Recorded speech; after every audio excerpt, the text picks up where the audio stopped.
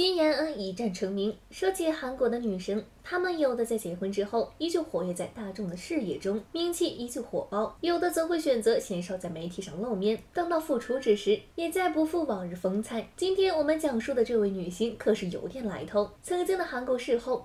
四十岁远嫁豪门成阔太，李瑞镇都为其至今未嫁。想到这里，大家对于这个人的身份已经呼之欲出。没错，她就是演员金妍恩。出生于首尔的金延恩有着非常显赫的家庭背景，他的外祖父、舅舅在韩国商界都非常有名。金延恩的舅舅金相范是韩国大型财阀集团的首席执行官，也是因此，金延恩有着非常不一样的气质呀。除此之外，据悉，金延恩的母亲曾经参加过1971年举行的上清北道小姐选拔，她的姑姑曾经参加过韩国小姐的选拔，骨子里就流淌着美女的基因。金延恩曾经说过，妈妈参加比赛的时候并没有进入决赛，不过得益于妈妈良好的气质和教养，金延恩从小就被打扮得非常美丽漂亮，而且金延恩的父母感情也非常好，这给金延恩留下了非常深刻的印象。和所有的新人一样。金妍恩在刚刚出道的时候也是默默无闻的，低调的拍摄了多部作品之后，终于迎来了那个让她一炮而红的机会。一九九八年，金妍恩在向日葵当中饰演了一名精神病人，这个角色受到了观众的一致认可。相较于同剧的其他演员，金妍恩的表现非常亮眼。拍摄完这部作品之后，金妍恩为电信公司拍摄了广告，进一步提升了人气。走红之后，金妍恩开始以主角的身份。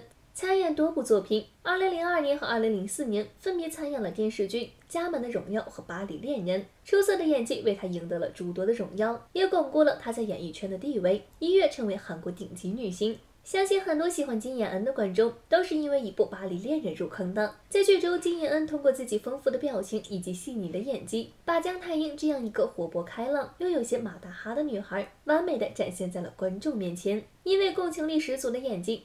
在观剧过程中看到他受委屈，观众甚至会产生怜爱。他傻傻的模样也是让人喜欢。还有朴信阳饰演的韩社长，更是堪称霸总的巅峰。商场上他是叱咤风云的资深总裁，又不好惹又懂得克制。不仅如此，韩社长还情商很高，经常举重若轻的照顾他人的情绪，幽默的化解尴尬。霸气之外，还有社长对女主的深情与尊重。该剧在当时更是成为韩国五年内。最短时间突破百分之四十和百分之五十收视大关的电视剧，同时也是二零零四年单集收视冠军。与此同时，在拍摄《巴黎恋人》期间，男主李瑞镇和女主金妍还因戏生情走到了一起，成为了现实中的恋人。在当年，他们更是被网友票选为大家最期待步入礼堂的演艺圈情侣冠军。期间，金妍安表示：“我正沉浸在幸福的海洋之中，他是我最亲密的朋友，有很多值得我学习的地方，是一位非常优秀的人。”李瑞镇也在网上发文表示：“希望能够在大家默默的关心下，我也能够安静的维护降临到我身上的缘分。我认为这是上天赐予我的缘分，我会接受和珍惜。”彼时，两个人，一个是刚出演过大热剧的当红女主角，一个有《茶木火鸟》这样经典剧的大热男主角，恋爱一经公开便引起了轰动。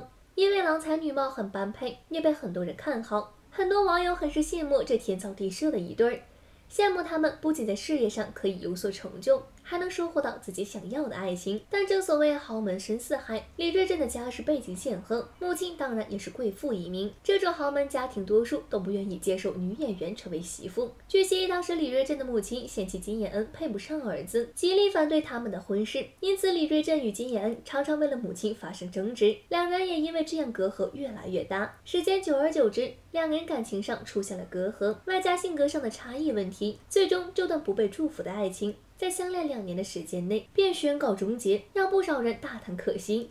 当时这件事在被媒体求证时，金妍恩也是泪如泉涌，只说自己很突然的收到了对方分手的短信，一时间众说纷纭。后来金妍恩透过经纪公司表示，自己是在电话中被分手，原因是李瑞镇顺从了母亲的意愿，放弃爱情。这件事一度在网上引起了不小的轰动。有人说，原因是金妍恩与李瑞镇交往期间，曾因一次小小的语言失误，让李瑞镇的母亲不高兴。后来矛盾并没有被解决，而是越来越大。尽管金妍恩曾经很努力的想要弥补这个失误，但仍无济于事。也有人说，原因是金妍恩太能花钱。据说双方在美国旅行的时候，由男方付账买了很多东西，而妈妈看到了巨额的购物单后，就有些不高兴。等到发现斥巨资买回来的东西几乎全部是送给金妍恩的。妈妈就更生气了，感觉没有受到尊重。对于他们分手的原因，又不止一个版本，但无一被证实过。或许正是因为这段感情的不疾而终，给他们带来了巨大的伤痛。这件事情之后，李瑞镇独自跑到香港疗伤。绝不向外界提及分手的原因。而女星金妍恩经历了和美大哥的恋情斩击后，在娱乐圈的奋斗力度直线下降，两人面对感情的勇气遭遇了前所未有的打击。金妍恩也是花了很长一段时间才从失败的感情中走出来。直到五年后，金妍恩接受了下一段感情，相处三年后于二零一六年结婚。她选择的是一个圈外人，很少出现在公众视野中。金妍恩的丈夫来自美国，据说是有高薪收入的金融业从业者。同时，也是一名韩裔富二代，其父母经营着一家百货公司。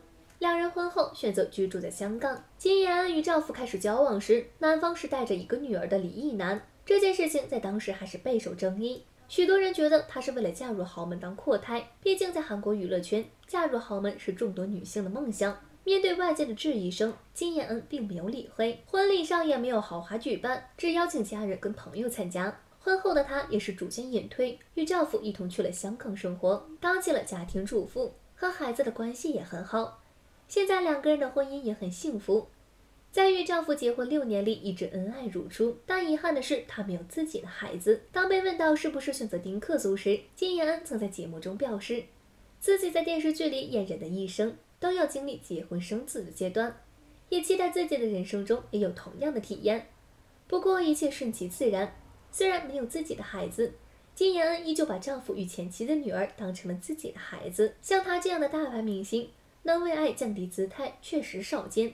然而，她的前男友李瑞珍，自从与她分手后，一改以往的高冷形象，化身综艺达人。如今五十一岁，还是单身一人，再也没有公开过新恋情，被网友们猜测是无法从失败的感情里走出来。他本人也在综艺节目中《小森林》里表示，一个人生活已经习惯了。而且自己已经快五十岁，都到了抱孙子的年纪，还和谁去结婚呀？他还说过，年纪越大，他对结婚这件事的兴趣就越来越小了。看上去也的确如此。每当在节目中提及婚姻时，他总会表示太晚了，像是要将不婚进行到底。就这样，两个人一别两宽之后，终于以各自认为最好的方式各自欢喜。